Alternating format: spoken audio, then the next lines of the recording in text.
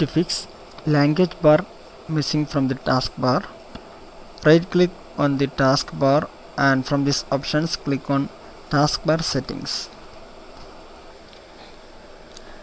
Okay now in this page please locate for the title notification area. Okay it is here. Under that you can find a link turn system icons turn on or off. Click here. And now in this page please turn on this option input indicator. Turn it on. And by this way you can restore the language bar on your taskbar if it is still missing then follow this method. Open the windows settings. Click on the start menu and here click on the settings icon. You can open the windows settings by simply clicking the windows key and letter i on the keyboard together. Now here please click on devices.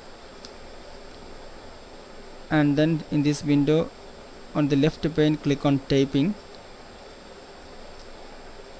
And now in the right hand side please locate for the link advanced keyboard settings.